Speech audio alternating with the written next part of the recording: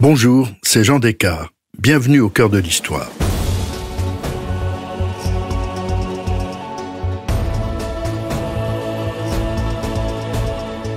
À l'occasion de la journée des droits des femmes, je vous raconte aujourd'hui l'histoire des suffragettes britanniques qui menèrent un long combat pour obtenir le droit de voter. À leur tête, une femme étonnante, Emmeline Pankhurst, une femme qui ne renonça jamais.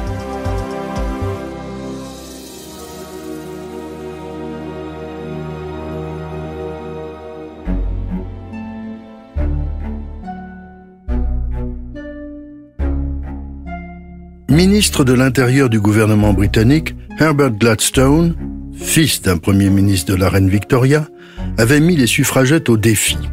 Dans un discours au Parlement, il avait expliqué que dans toutes les grandes crises du XIXe siècle, les résultats n'avaient pu être obtenus que parce que les partisans des réformes se réunissaient par dizaines de milliers dans tout le pays. Il avait ajouté imprudemment Il ne fallait pas s'attendre à ce que les femmes puissent réunir ce type de foule, mais le pouvoir appartient à la foule et à travers ce pouvoir, un gouvernement peut être poussé à l'action plus efficacement que dans les conditions actuelles. De cette façon, le ministre pensait clore les réclamations incessantes des suffragettes pour obtenir le droit de vote des femmes. C'était sous-estimer la présidente de l'Union sociale et politique des femmes, Emmeline Pankhurst. Celle-ci décide aussitôt de relever le défi. Elle fixe au 21 juin 1908 la date d'une énorme manifestation à Hyde Park au cœur de Londres. La plus grande foule qui avait été rassemblée en cet endroit était de 72 000 personnes. Emmeline table sur 250 000 au moins. Pendant les mois qui précèdent la manifestation, le mouvement dépense plus de 1000 livres en publicité. Londres et les principales villes de province du royaume se couvrent de grandes affiches. Elle représente les femmes qui présideront les plateformes à partir desquelles les discours seront prononcés. Elle placarde aussi les trajets par lesquels les sept cortèges doivent passer. Pendant des semaines, une petite armée de militantes écrit des annonces à la craie sur les trottoirs. Elle distribue des tracts, font du porte-à-porte pour convaincre les femmes de se déplacer. Le mouvement invite tout le monde, y compris les membres des deux chambres du Parlement, la Chambre des communes et la Chambre des lords. Quelques jours avant la manifestation, une certaine Madame Drummond loue et décore un petit bateau qui remonte la Tamise jusqu'au Parlement de Westminster à l'heure où les députés prennent un verre avec leurs amis sur la terrasse.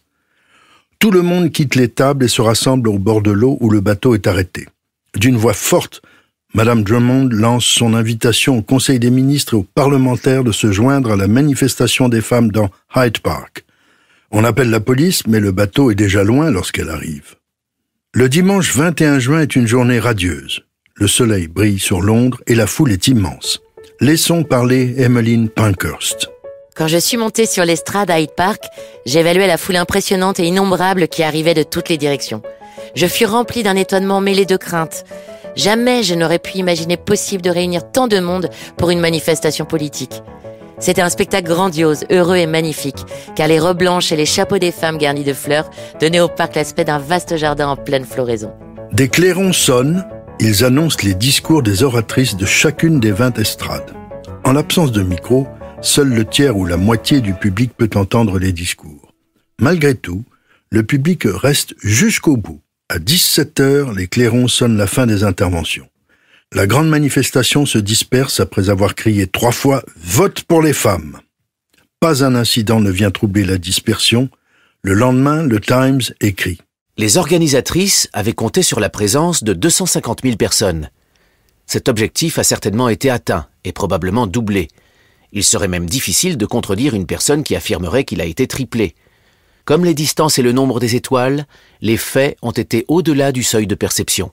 Quant au Daily Express, il déclare Il est probable que jamais en Angleterre autant de gens n'ont été réunis au même endroit. Les personnes qui, il y a des années, avaient vu les grandes manifestations de Gladstone virent que ce n'était rien comparé à hier. Le gouvernement va-t-il céder? Pas sûr. Mais qui est donc Emmeline Pankhurst capable de mobiliser tant de monde autour d'elle pour défendre sa cause? Emmeline Goulden est née en 1858 à Manchester dans une famille aisée, progressiste et très engagée. L'un de ses premiers souvenirs d'enfance est celui d'une kermesse qui avait pour but de recueillir des fonds pour soulager la misère des esclaves noirs nouvellement émancipés après la guerre de sécession aux États-Unis. Elle assistait alors sa mère avec un sac à surprise pour collecter de l'argent. Ses lectures d'enfance sont L'Odyssée et La case de l'oncle Tom. À 15 ans, on l'envoie à Paris parfaire ses études dans une institution pionnière en Europe pour l'éducation supérieure des jeunes filles. Elle passe quatre ans dans cette chic et vieille maison de l'avenue de Neuilly. De retour à Manchester, chez ses parents, son père la pousse à travailler pour le mouvement en faveur du vote des femmes. En effet, depuis les années 1840, le vote des femmes était défendu par des hommes politiques comme Disraeli et le philosophe John Stuart Mill. Mais le Premier ministre Gladstone et la reine Victoria y étaient farouchement opposés. Le premier mouvement des suffragettes, ces femmes demandant leur droit de vote, avait été fondé en 1865 par le docteur Pankhurst, un avocat qui défendait ardemment les femmes tentant en 1868 à Manchester de s'inscrire sur les listes électorales. C'est un ami de la famille d'Emmeline, et elle l'épouse en 1879. Elle a alors 21 ans. Elle aime profondément son mari, plus âgé qu'elle. Ils auront quatre enfants. Les deux aînés, Christabel et Sylvia, seront plus tard les collaboratrices de leur mère. Mais en 1898, son mari meurt. Emmeline doit s'occuper seule de ses quatre enfants. Elle doit travailler. Elle est nommée au bureau d'état civil des naissances et décès de Manchester. Le quartier dans lequel elle travaille est un quartier ouvrier. Elle voit de près la misère et prend conscience de la triste condition des petites filles dans cette cité ouvrière. Elle raconte avoir vu des gamines de 13 ans venir à son bureau pour enregistrer les naissances de leurs bébés. Dans bien des cas, elle découvre que le responsable est le propre père de la fillette ou un parent proche.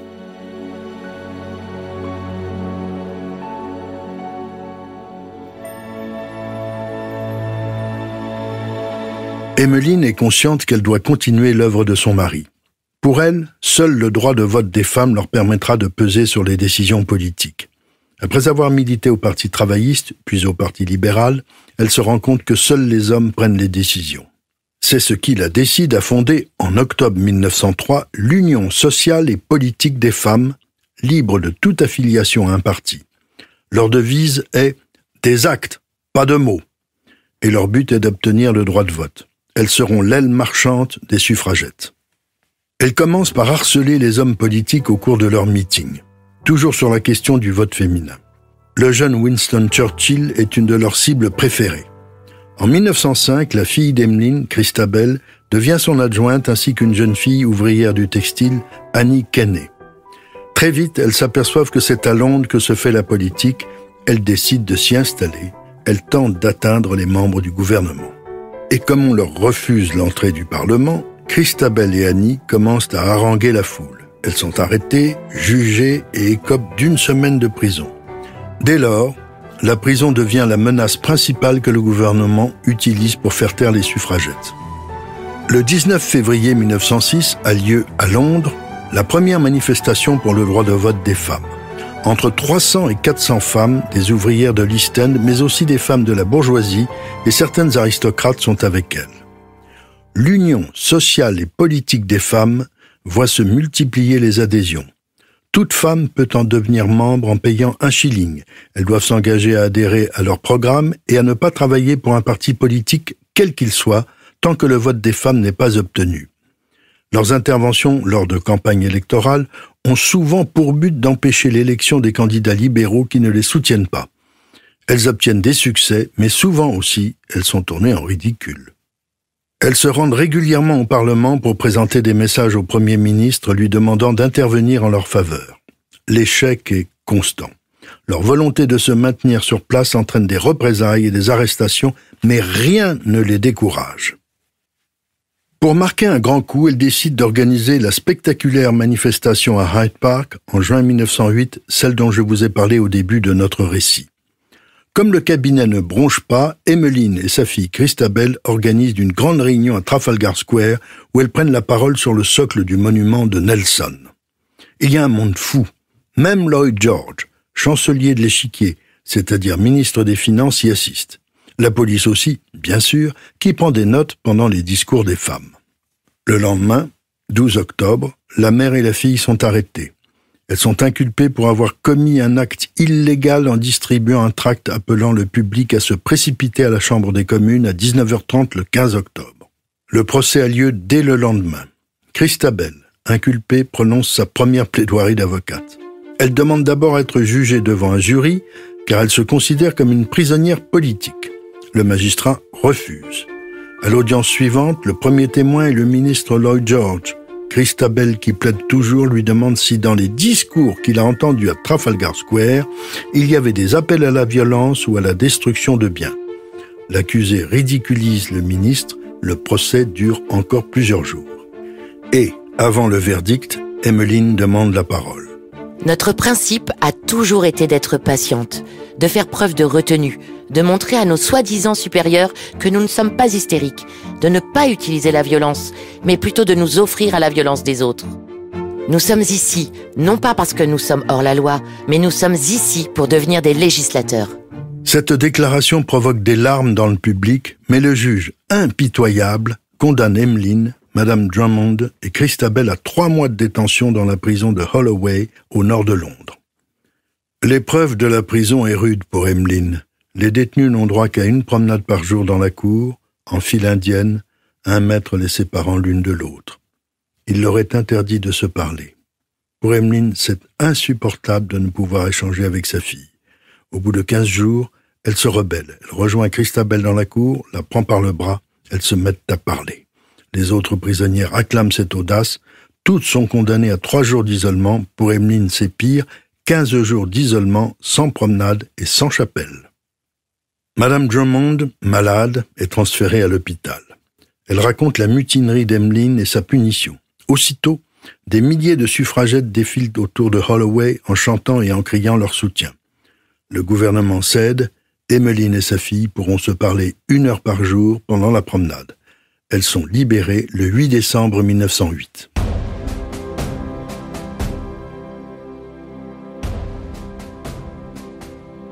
1909 sera, pour le mouvement des suffragettes, une année d'espoir et de nouvelles déceptions.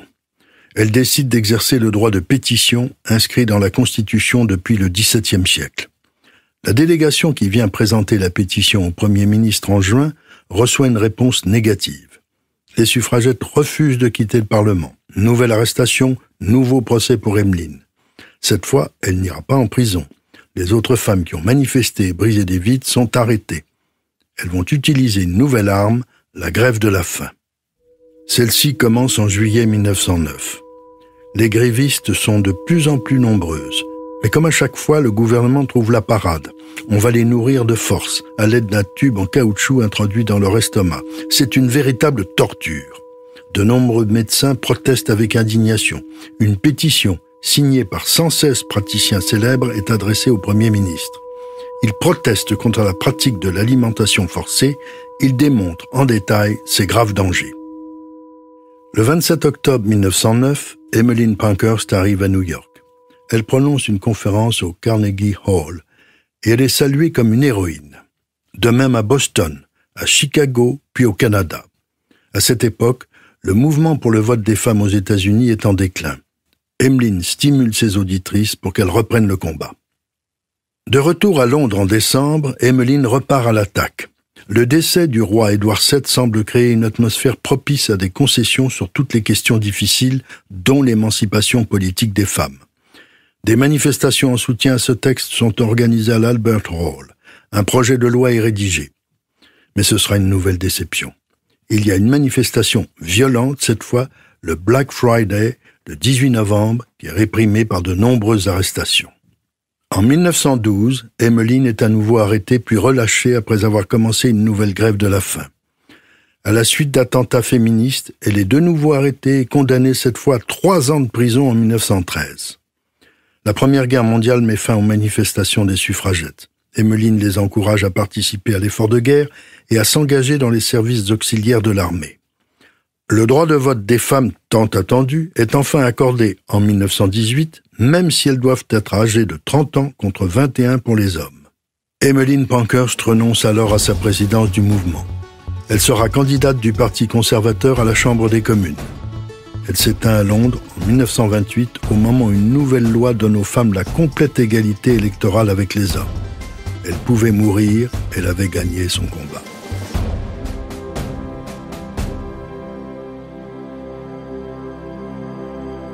Si cette plongée au cœur de l'histoire des droits des femmes vous a plu, n'hésitez pas à en parler autour de vous et à me laisser vos commentaires sur le groupe Facebook de l'émission. Je vous dis à bientôt pour un nouvel épisode de Au cœur de l'histoire. Au cœur de l'histoire est une production Europe 1 Studio. Ce podcast est écrit et présenté par Jean Descartes. Il a été réalisé par Guillaume Vassou.